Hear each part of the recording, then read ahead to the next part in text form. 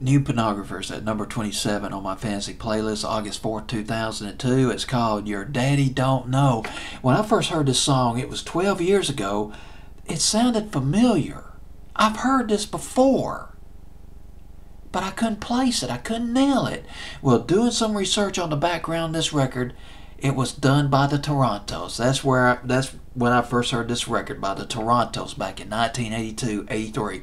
Probably heard this on a college radio station. Was not a big hit here.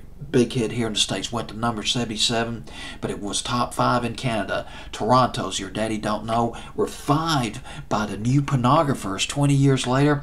It's a soundtrack from, I guess, a film called Fubar. What the hell is that? F U B A R, the album. Not sure what that is. I guess it's a, a soundtrack to a motion picture I'm not familiar with.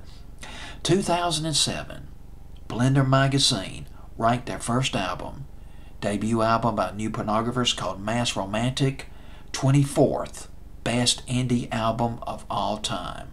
They have came under some, well, they came under some favorable acclaim by the critics. The group name, New Pornographers, Carl Newman, group member Carl Newman, he watched a film called The Pornographers. It was a Japanese film that was made back in 1966. The film was about a porn director who was coming under attack, threatened, his business threatened by the government, his friends, the mob, uh, thieves.